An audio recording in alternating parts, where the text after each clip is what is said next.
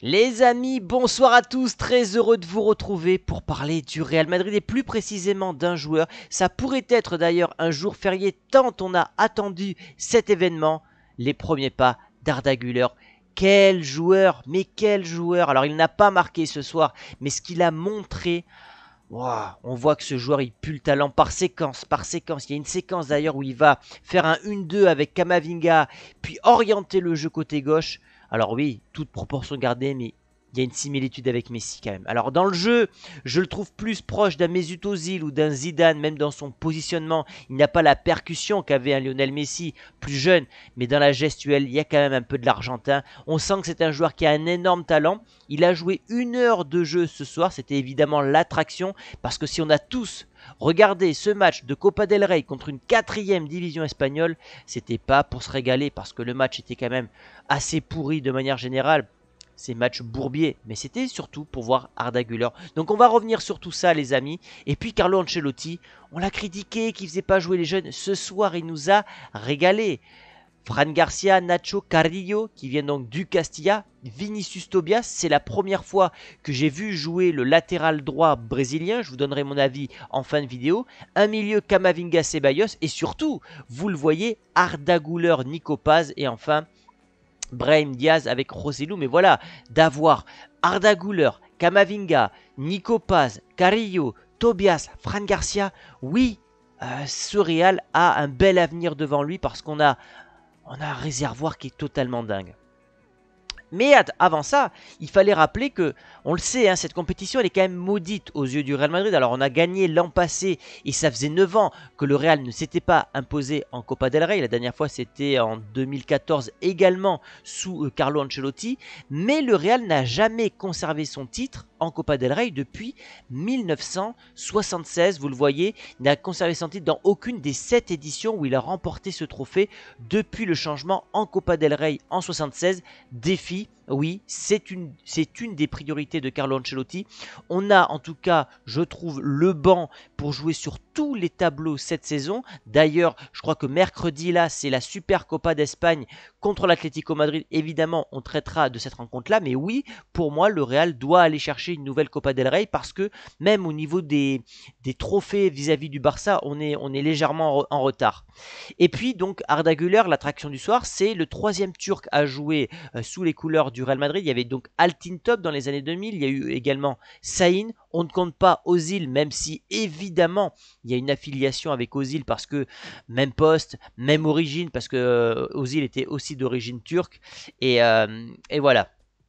Et d'ailleurs, Arda c'est le premier qui s'est créé une occasion. Et ce que j'ai trouvé d'ailleurs très intéressant euh, chez ce joueur, c'est que, vous savez, tous ces gauchers, style Robben, style Messi, style, alors peut-être pas Salah, Gareth Bale, tous ces joueurs-là ont un pied gauche fantastique, mais ils n'ont pas de pied droit. Et à plusieurs reprises ce soir, ce que j'ai remarqué chez Arda Güler, j'ai moté tous ses positionnements, tous ses faits et gestes pour vous faire la meilleure analyse possible, c'est qu'il n'a pas peur d'utiliser son pied droit. Il a eu une grande liberté ce soir au niveau de son positionnement. Il a notamment été plusieurs fois sur ce côté droit pour, centrer en première intention du, du pied droit.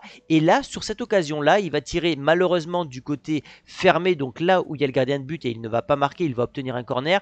Peut-être qu'avec un peu plus d'expérience, il aurait croisé sa frappe côté ouvert, mais en tout cas, fait très intéressant, c'est qu'il n'a pas peur d'utiliser son pied droit, et quand tu es un gaucher, je trouve que c'est une énorme qualité.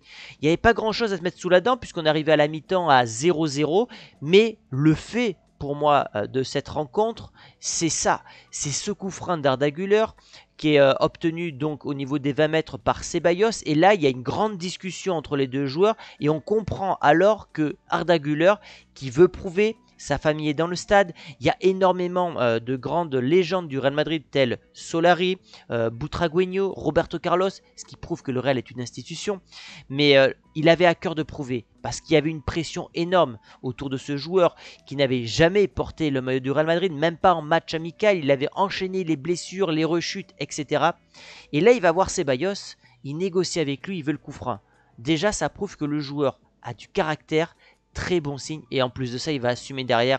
Il va la mettre sur l'équerre. Alors, j'ai pas un screen, mais on voit le gardien qui plonge. Au début, euh, comme ça en direct, j'ai l'impression que c'est le gardien qui l'arrête. Mais non, il la frappe sur le poteau. Et rien que ça, je me dis, Peut-être qu'il n'aura pas le gabarit pour jouer des fois dans des, des rencontres ultra physiques telles l'Atletico ou des clubs anglais.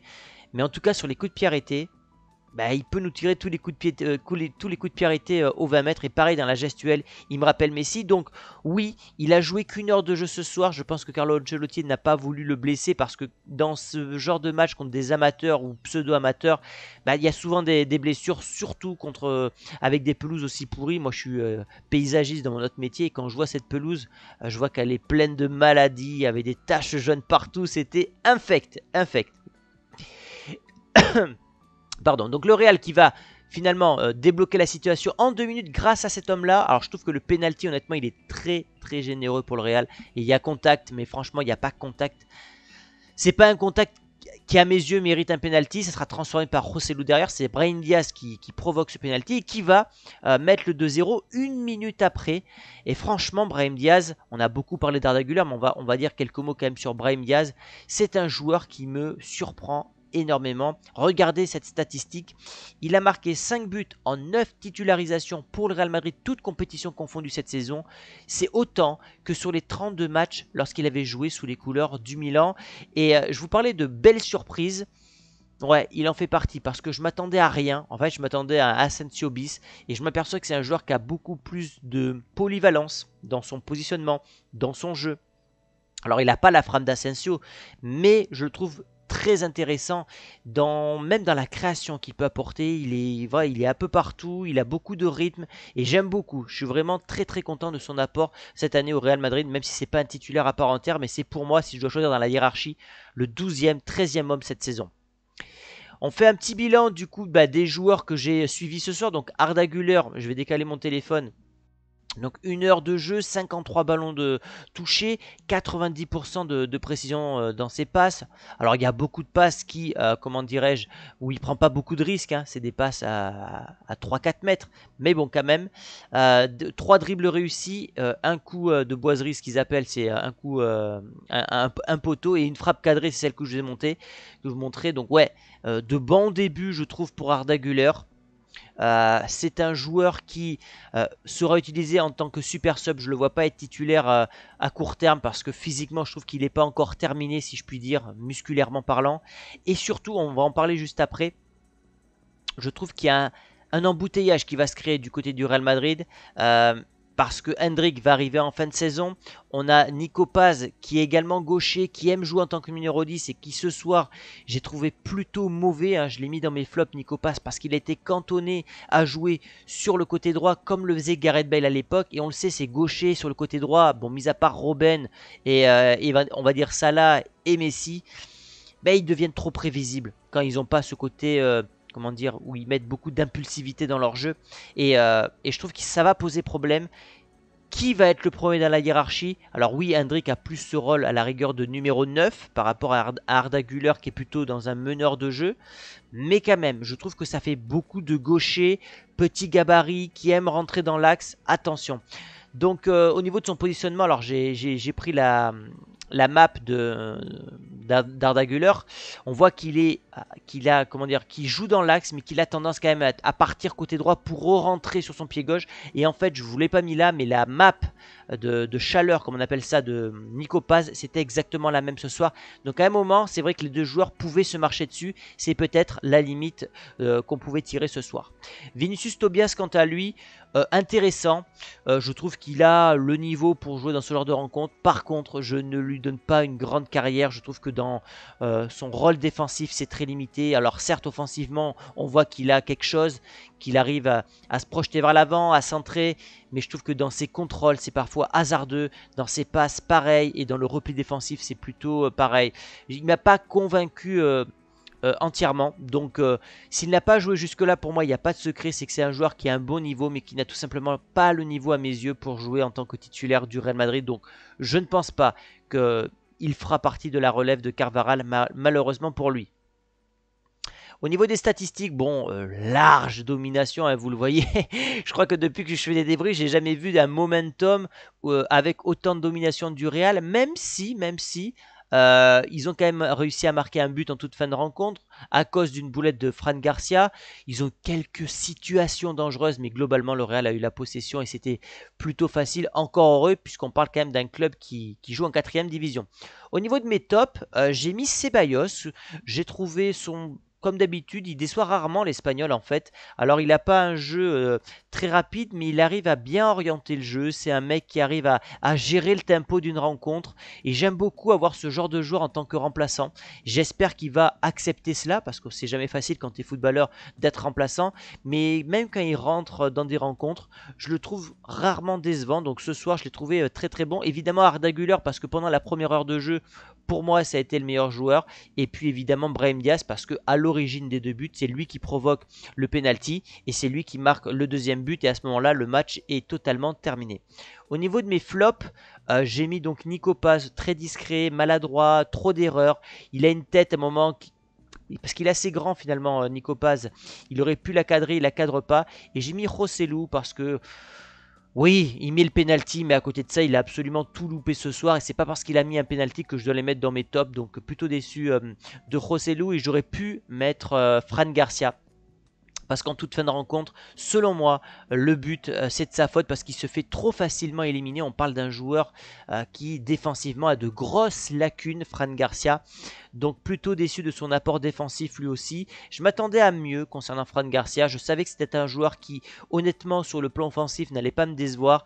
Mais je pensais quand même qu'il avait plus de plus d'atouts défensivement et c'est pas c'est pas le cas. Et ce soir contre une équipe de 4 division il se fait quand même facilement éliminer. Donc voilà pour mes flops et mes tops. Et on passe euh, aux notes.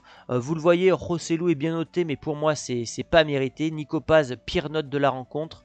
Euh, meilleur joueur c'est Ceballos avec Arda Güler. Je suis pas réellement surpris. Kamavinga est bien noté. Attention à Kamavinga. J'ai lu dans la presse espagnole qu'il qu'il a directement rejoint le vestiaire et qui pourrait avoir contracté une blessure à suivre. Ça serait vraiment une triste nouvelle pour le Français qui vient de revenir. Euh, Fran Garcia bien noté, je comprends pas également.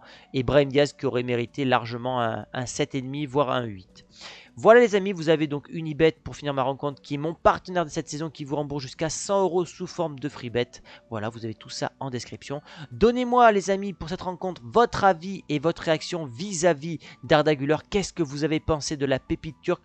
Pensez-vous qu'il peut s'imposer à court terme au sein du Real Madrid? Donnez-moi vos tops et vos flops.